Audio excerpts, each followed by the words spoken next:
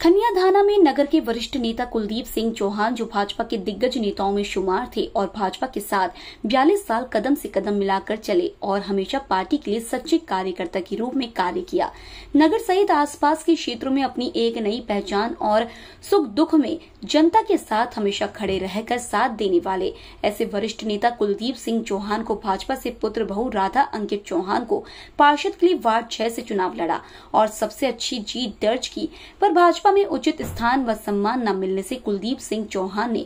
पुत्र बहु राधा अंकित चौहान सहित भाजपा का दामन छोड़ कांग्रेस की सदस्यता ग्रहण की और नगर परिषद उपाध्यक्ष के लिए कांग्रेस से ताल ठोकी और नगर परिषद अध्यक्ष एवं उपाध्यक्ष के चुनाव के दौरान कुलदीप सिंह चौहान की पुत्र वधु राधा अंकित चौहान को नगर परिषद खनियाधाना का उपाध्यक्ष चुना गया। पर आज जनपद पंचायत खनियाधाना के अध्यक्ष एवं उपाध्यक्ष की शपथ ग्रहण समारोह में क्षेत्रीय विधायक के पी सिंह, कक्काजू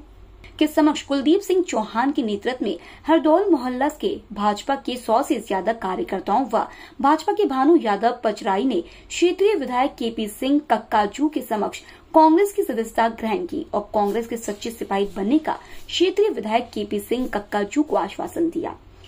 खनियादाना से खनियादाना से शिवकांत सोनी की रिपोर्ट।